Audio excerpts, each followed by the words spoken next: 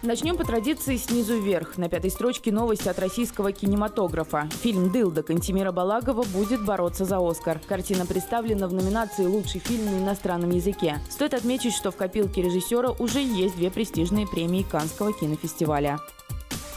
Саратовцев не оставила равнодушными новость о смерти Алексея Леонова. В интернете они также искали факты из биографии известного советского космонавта. Алексей Леонов ушел из жизни 11 октября. Ему было 85 лет. На третьей строчке новость о возможном запрете в России крафтового пива. Оно может исчезнуть из магазинов уже в следующем году. Это связано с новым регламентом Евразийского экономического союза. Судя по комментариям в ленте, многие саратовцы посчитали новость фейком. Чуть больше запросов касалось красивой победы национальной сборной. Футбольный матч Россия-Шотландия завершился счетом 4-0 в нашу пользу. Подопечные Станислава Черчесова стали на шаг ближе к Евро-2020.